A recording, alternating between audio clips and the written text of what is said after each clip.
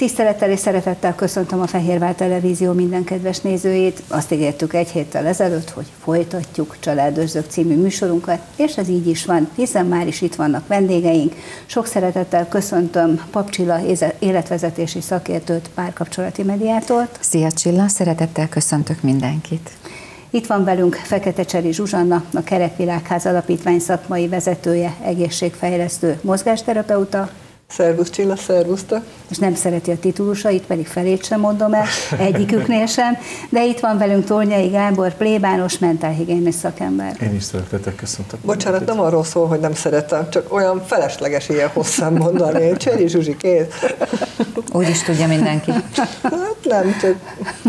Nos, eh, hagyj térjünk vissza az előző heti témánkhoz. Akkor ugye azzal kezdtük a beszélgetést, hogy eh, hogy is jött létre az első ember, mit válaszolunk egy ilyen kérdésre a gyereknek.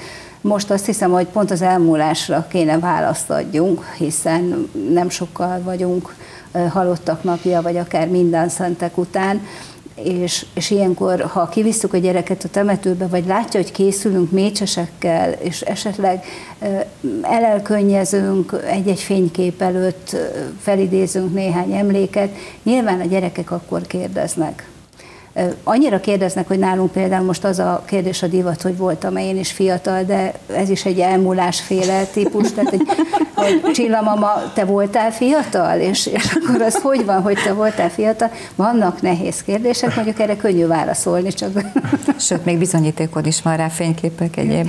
De nyilván, nyilván foglalkoztatja a gyerekeket, és azért itt most nyilván a, a hat 8 évnél fiatalabb gyerekekről beszélünk, bár a 8 év fölöttiek is gondolkoznak ezen, csak Sőt. ők már kicsit okosabban. Az a helyzet, hogy a 6-8 év alattiaknak, ami még sokkal jobban tetszik, az a gyertya, a színek, a nem tudom én, a külsőségek. Tehát ők még nem tesznek fel olyan nagyon komoly filozófis, filozófikus kérdéseket. Egy kicsit izgalmas nekik az, hogy együtt van a család, hogy, hogy most, most miért vagyunk itt mindannyian, nem szoktunk ide jönni. De jön a gyertyagyújtás, jön a, a nem tudom én, elrendezgetés, beszélgetés a virágnak, vagy egyébként azt nagyon élvezik, és az úgy körülbelül nekik el is viszi a, a, a dolgot.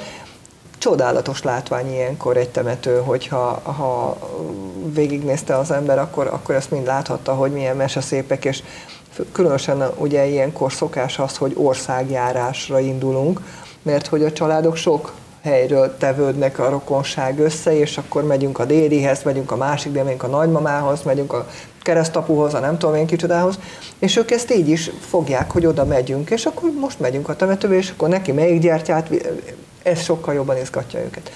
A nagyobb gyerekek már tesznek fel kérdéseket, ha van emlékük az elhunytal kapcsolatban, akkor arról beszélgetnek, hogyha nincs, akkor esetenként kérdeznek az elhunytal kapcsolatban. Aztán ahogy megyünk előre az időbe, és már ő nekik kialakult a halál fogalmuk, vagy egyáltalán a halál kapcsán valami fajta nézőpontjuk, úgy fognak specializálódni a kérdések is.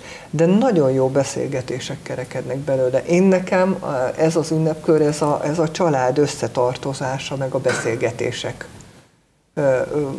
minőségének a, a meghittsége. Mert hogy azért az nem napi gyakorlat, hogy kapcsolódunk az őseinkhez, a felmenőinkhez.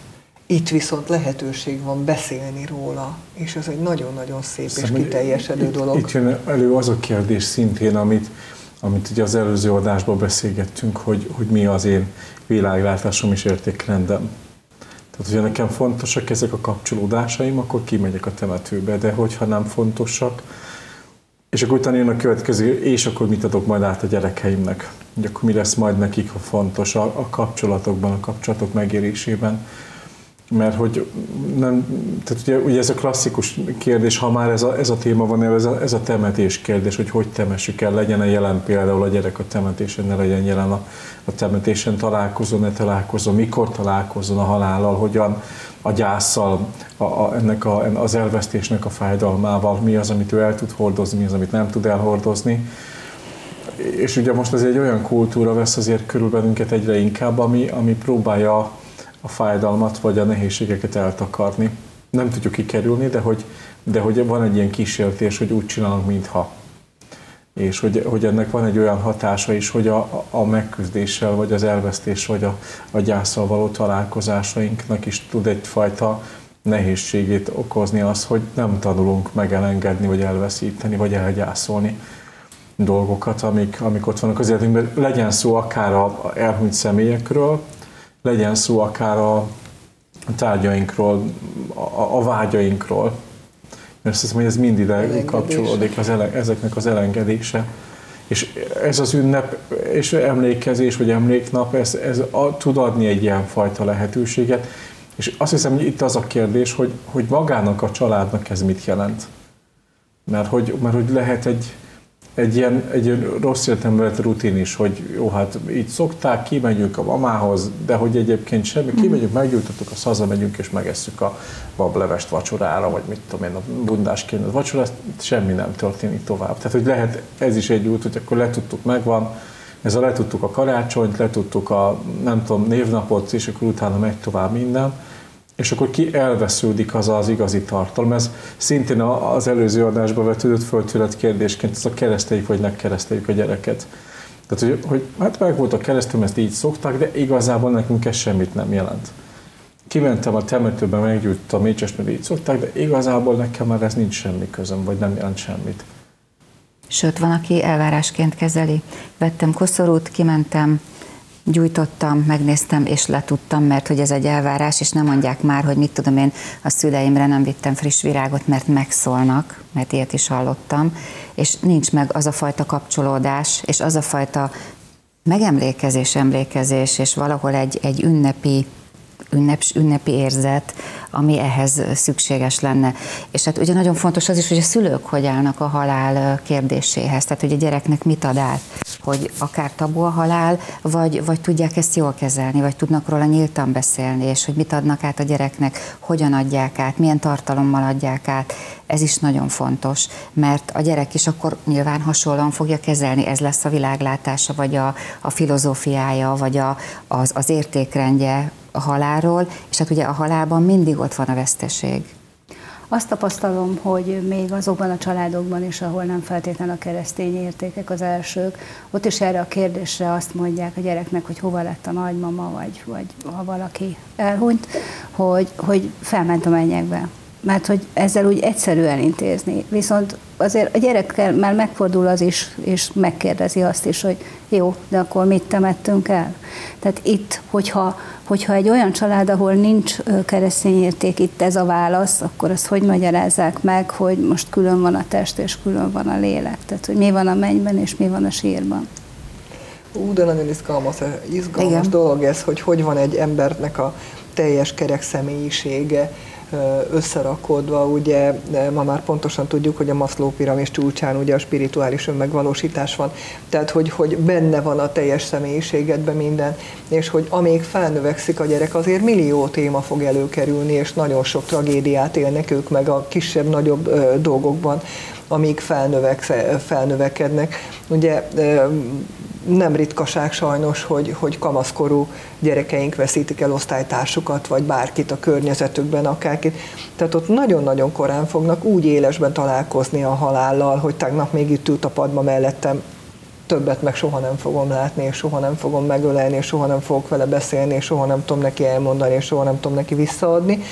Tehát, hogy ezek mind-mind benne vannak abban, hogy a mindennapok szerveződésében hogyan élünk mi, hogy miként gondolkodunk erről, hogy tulajdonképpen az élet ajándéka meddig a miénk, hogy az mekkora érték, mert a halál tükrében fogod az élet ajándékát és az élet nagyszerűségét és az élet értékét megélni.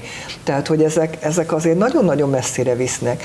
Hogyha találkozott már az a gyermek, akár közvetve vagy közvetlenül úgy a halállal, akár egy szeretett állat elvesztéseként, vagy valaki a környezetében, vagy egy osztálytársának halt meg az édesanyja, édesapja, vagy bármi, akkor ő egészen másként fog erről beszélni, mint hogyha a misztikus ködbe vész, mert a tyúkokat is a boltból vesszük, és nem a tyúkudvarból jönnek ezek a csibék a reggeli, vagy a vasárnapi ebédhez.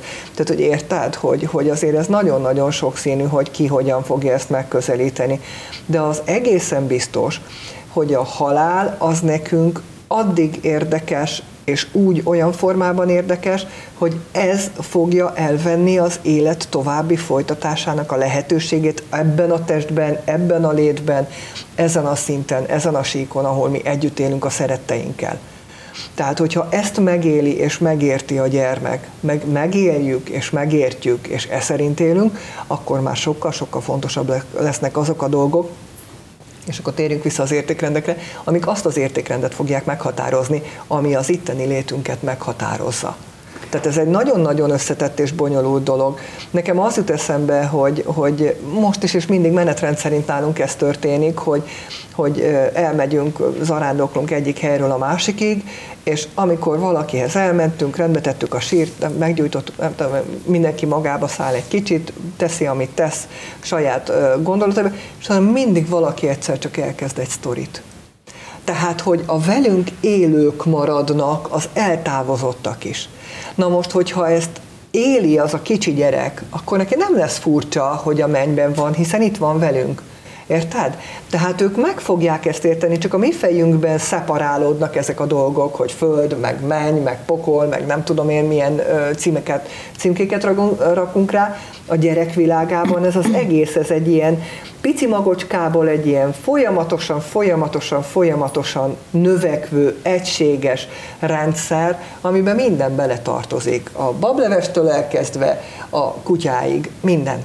Minden. Nemrég voltam vendégségben, csak így erről jut eszembe, hogy ezek a kapcsolódások, hogy hogyan maradnak, vagy maradhatnak meg különböző kultúrák. Ugye nálunk gyakorlatilag ennyi maradt meg a, az elhunytal való kontaktba, kapcsolatba, hogy évente egyszer valaki többször, de legalább évente egyszer kimegyünk a temetőbe, megállunk, meggyújtjuk a gyertyát, sztorizunk, vagy éppen imádkozunk, vagy a kettő összekapcsolódik.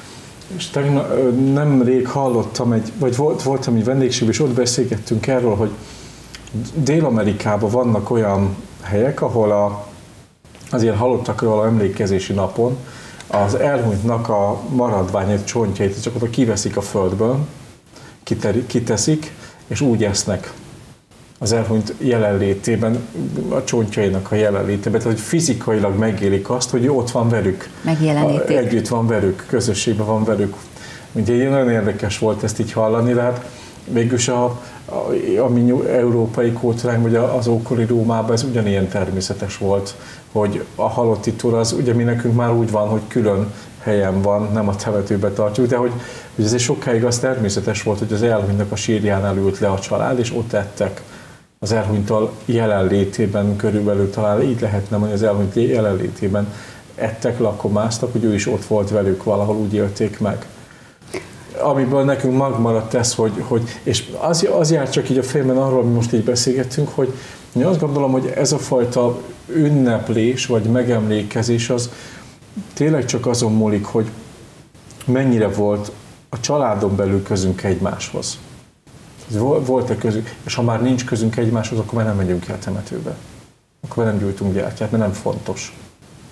És azt hiszem, hogy, hogy ez, ez is egy nagy kérdés. A, a, van a Coco, azt hiszem ez volt a címe egy, egy nagyon aranyos animációs filmnek, ami arról szól, hogy egy, egy kisfiú lejut a halottak országába, akik minden, összejönnek, ünnepelnek minden évben, és az a fontos számukra, hogy, hogy emlékezzenek rájuk, ha még élők. Mert hogy az, akire már nem emlékeznek, akinek nem gyújtanak gyertyát, az eltűnik, az örökre eltűnik.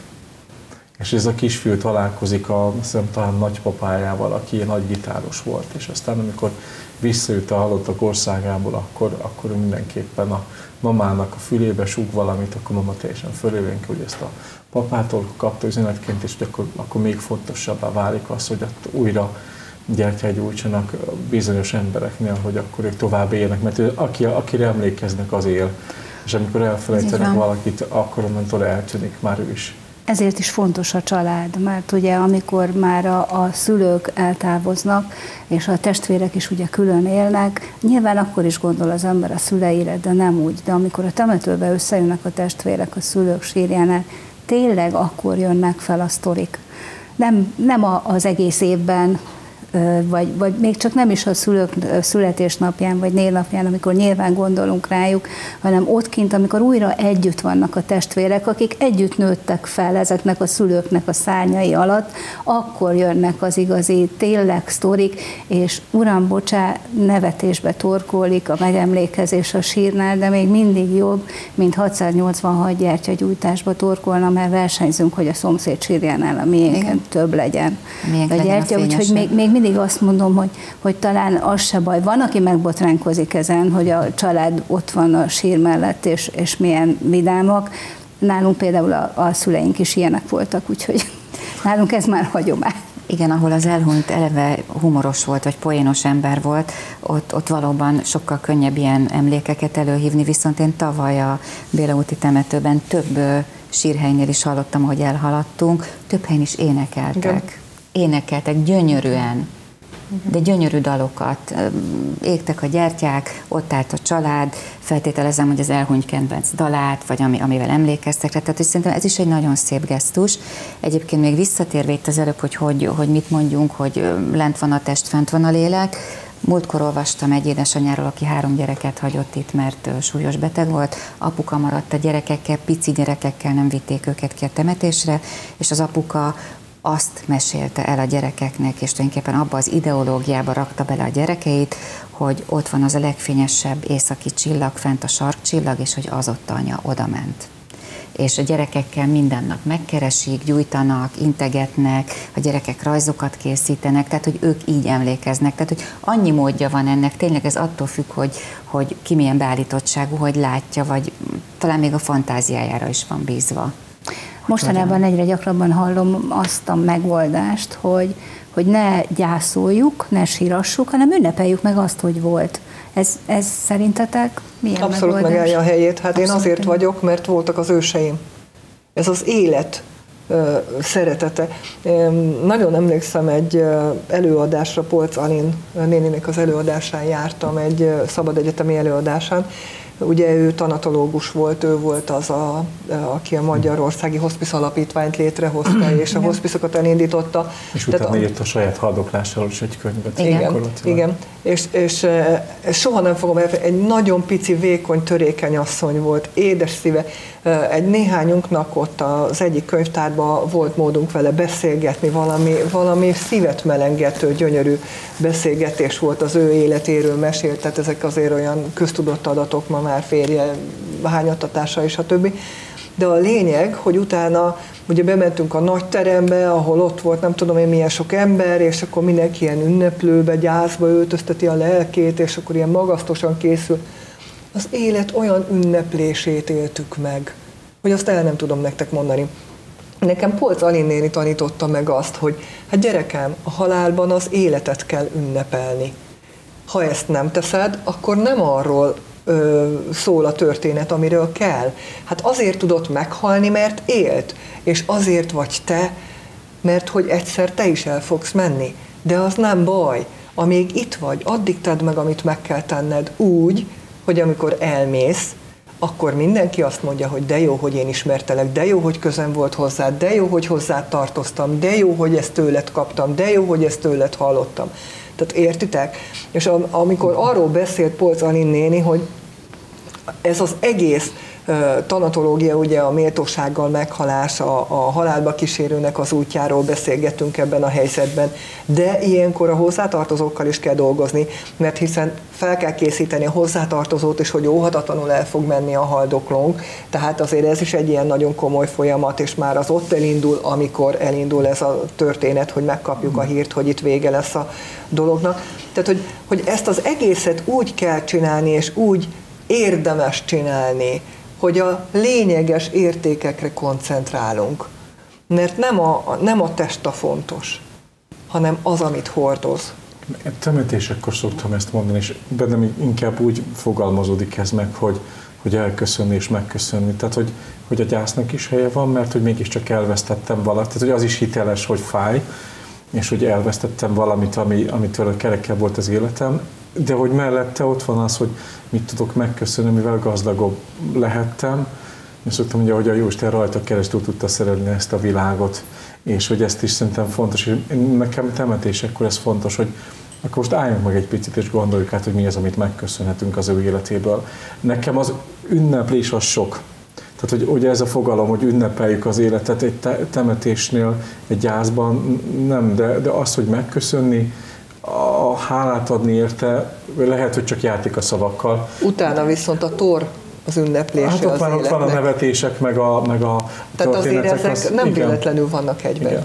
Tehát, hogy, hát, csak azért, hogy, hogy, hogy csak a kérdésedre reagálva, hogy, hogy nem vállalt, tehát nem, nem szakítanám le egymástól a kettőt. Tehát, hogy helye van hiteles az, hogy ez fáj, ez nehéz, mert elvesztettem valamit, valakit, aki, aki, aki mosolygott, kedves volt, miatta tulajdonképpen a gyászban magamat síratom, és nem őt mert neki már... magunkat sajnáljuk, hogy többet nem tudunk beszélni, nem tudjuk felhívni, hiszen ez visszafordíthatatlan, végleges, lezárt folyamat. És ez rossz, és ezt el kell ismerni, ez, hogy igen, ez rossz. Igen. De amit egyébként a Zsuzsi mondott, ugye a hospice alapítványos dologban, ott ugye lehet tudni, hogy, hogy egy komoly betegségből ki fog lépni majd az életben, de ugye van olyan is, amikor valaki hirtelen lép ki, ott nem tud felkészülni a gyászoló, és hát nyilván sokkal nehezebb elfájni, sokkal hosszabb és más, milyenebb a gyásza annak, amikor hirtelen vagy mondjuk egy gyermeket veszítünk el, vagy egy fiatal életet. Tehát azért itt, itt vannak különbségek.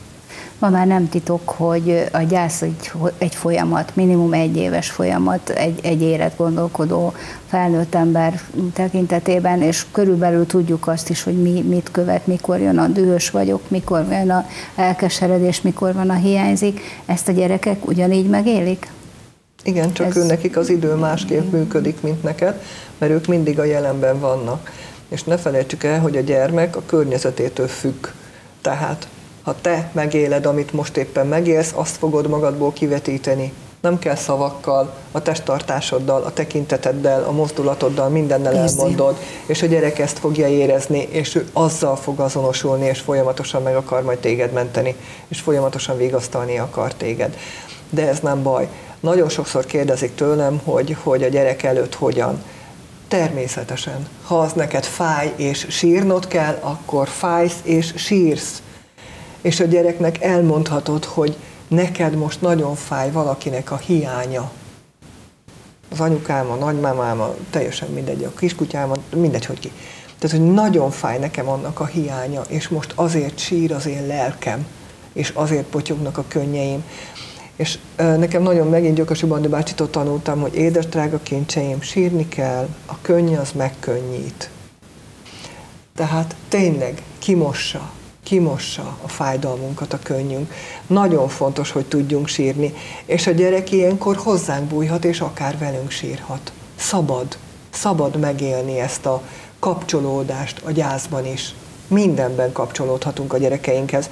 Tehát ez egy nagyon-nagyon fontos dolog, hogy a gyereknek én őszintén nem fogom azt mutatni, hogy én vidám vagyok, és, és boldog erős. vagyok, és erős vagyok, de, de, de lelkivezetőként is, hogyha jön hozzám valaki, és elsírja magát a problémái súlya alatt, és azt mondta, máskor olyan erős vagyok, és látom, hogy tele van a szeme könnyen, és akkor én mondom neki, hogy nyugodtan sírjál. Igen. Szabad sírni, sőt, engedd Sőt, oda van készítve a zsebkendő. Így van, hát persze. Egyetlen. És teszed a kezébe, és nem tudom. Tehát, hogy azért ez már technika nálunk. De, de nem ez a lényeg, hanem az, hogy, hogy, hogy ott is hiteles legyek tehát, hogy éljen meg, amit nekem meg kell élni, és mutassam meg a gyereknek, hogy az nem gyengeség, az vele jár az élettel, az gazdagítja az életet, attól mélységek lesznek az életünkben, magasságok lesznek az életünkben, ez nagyon fontos. Sőt, valahol a, a sírás az egy bátorság is, hiszen vállalom magam és mások előtt a fájdalmamat, az érzéseimet és a könnyeimet.